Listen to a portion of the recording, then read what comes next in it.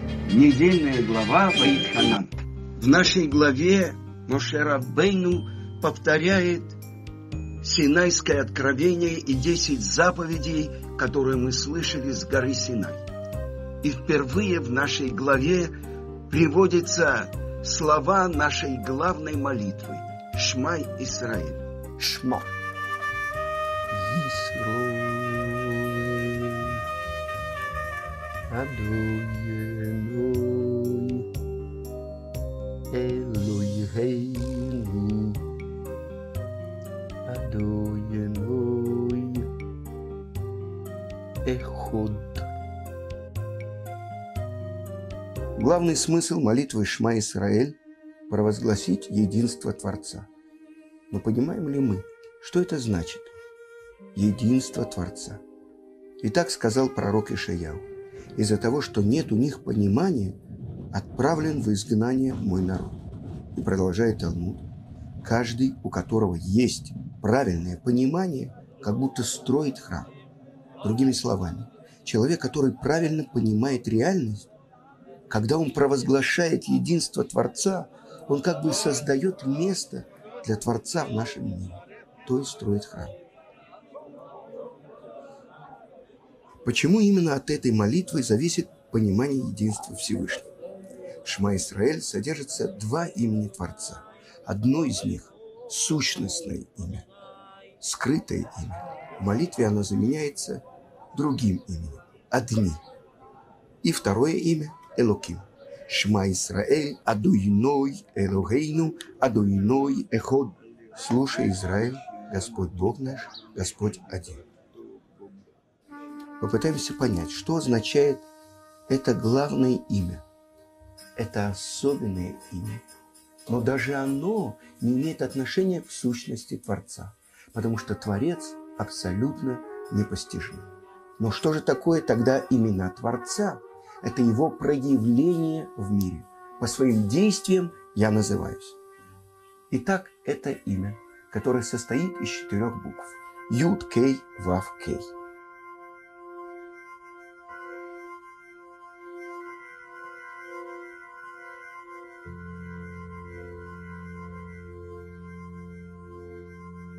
Это особенное имя, самое истинное, ясное, которое из уважения к его великой святости не произносится. Мы заменяем его в молитве на имя Адой Ной. Сам Всевышний, обращаясь к Моше, называет себя своим четырехбуквенным именем. Так скажи сыновьям Израиля. Это мое имя навсегда, и это мое напоминание всем поколениям. С каким же качеством проявления Творца в мире связано это имя? Оно раскрывает важнейшее качество Творца – рахамин, милосердие. Но прежде всего оно указывает на его абсолютную трансцендентность, его как источника и первопричины всего сотворенного. Наши мудрецы говорят, что четырехбуквенное имя Творца можно рассматривать как результат слияния трех слов «Гая, Гове, Ваихье» – «Тот, кто был, есть и будет». Это значит, что прошлое, настоящее и будущее, сливаясь в одно, теряют свое различие. Всевышний вечер. В нем объединены все времена. И так объясняет это имя Шулхан Арух. Господин всего, тот, кто был, есть и будет. Единственным местом, где было разрешено произносить скрытое имя Творца, был храм Иерушалайма. Десять раз оно звучало из уст первосвященника в Йом-Кипур.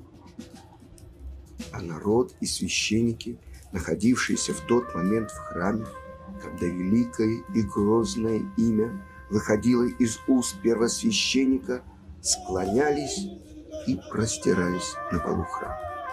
Так говорится в Талмуде в трактате Йом. Ведь произнесение этого имени обязывает к полному аннулированию, как бы уничтожению всего того, что стоит само по себе. Второе имя, упоминаемое в Шма Исраэль, это имя Элоким. Оно характеризует Творца как единого властелина над всем мирозданием. Само по себе это слово означает «всесильный». Корень слова «кель» – «эль» – «сила». И с самого начала Тара использует именно это имя в начале книги Берешит, где оно упоминается 32 раза. И там говорится о сотворении мира. Берешит, Барай Луким, Эт Ашамаем, Вет Аарец. Перечисление этапов творения Всевышний открывается нам в качестве единого, всемогущего источника всех творческих сил. Под этим именем Создатель предстает перед нами как источник справедливости, правитель, законодатель, судья. Повсюду, где мы встречаем имя Элоким, она отражает его качество справедливого судьи. Существуя во множественном числе, это имя Элоким говорит нам о великом множестве сил, пронизывающих мироздание, но также и о том, что все они происходят от единого Творца. Сам Творец – это абсолютная реальность. Он тот, кто дает жизнь всему. Он проявляется в мире через различные воздействия. И каждое из них называется определенным именем. И так нам обещано через пророка Цфанию, что в будущем, в тот день, будет Ашем един, и имя его едино. Байомагу и е Ашем и хат, уж мой хат. И задает вопрос Талмуд. Но разве сейчас он не един? И отвечает в будущем мое имя, как оно написано, так и будет произноситься. То, что постигал святое святых храма первосвященник, в будущем будет открыт каждому из народа Израиля. Эйн от Мильваду. Нет ничего, кроме него. Одна колдунья наклонилась, чтобы взять прах из-под ног Рабиханина Бендоса, для того, чтобы колдовать против него. А он ей сказал, бери, бери, ничего у тебя не получится. Эйн от мильваду. Нет ничего, кроме него. И объясняет в Талмуде Раби Иуда, что колдуны, Макхишим, отрицают воздействие небес, но не подвластен им Раби Ханина из-за своих заслуг.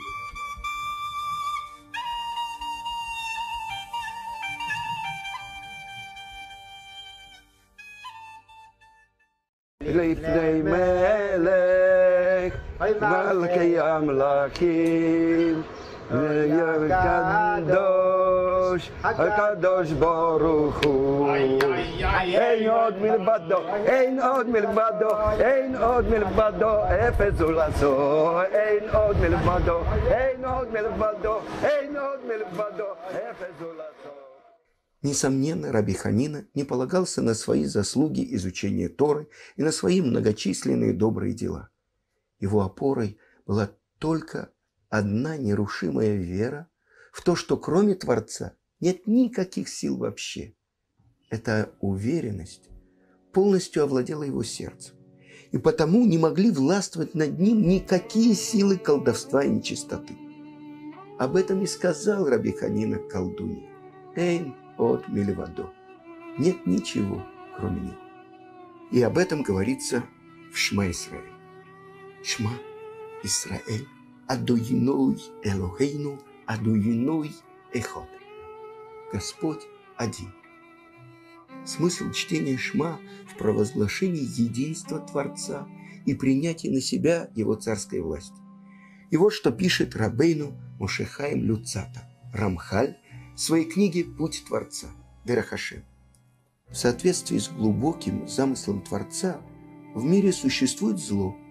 На первый взгляд, само его присутствие кажется противоположным воле Творца, ведь Творец желает только добра, и любое проявление зла унижает святость его имени.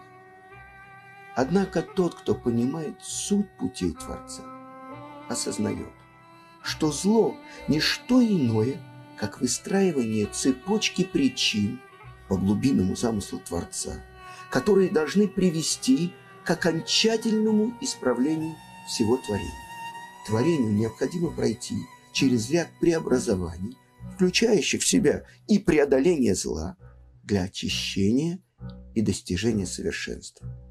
В этот момент станет очевидным, что только Творец управляет всем. Он причина всего, по пути к цели. реализации добра в мире. А стержень и основа этого пути – раскрытие истинности его единства. Общий принцип всех причинно-следственных связей заключается в том, что Творец создал возможность для зла, чтобы люди по своему свободному выбору преодолевали его, а в конце установили добро и в самих себе, и во всем творении. Раби Мейер Златович объясняет это еще более доступным языком. Когда человек осознает истину, что нет ничего, кроме Всевышнего, «Эйн от мильваду», а все, что сотворено, направлено на проявление его единства. Тогда он начинает понимать, как сказано в перке вот по отцов, этот мир похож на коридор перед будущим миром, который похож на огромный зал. Тогда просто не остается места для человеческого эго. Когда человек осознает это, он видит себя не как тело, наполненное желаниями, а как душу, у которой есть своя особенная миссия в реализации цели творения, в освящении и проявлении единства Творца в нем, что смысл молитвы Шма Исраэль и состоит в принятии царской власти Творца, Кабалат Оль Малхут Шамай. Это дает нам возможность не следовать за желаниями своего сердца, своего эго, а ощущать себя частью единой силы.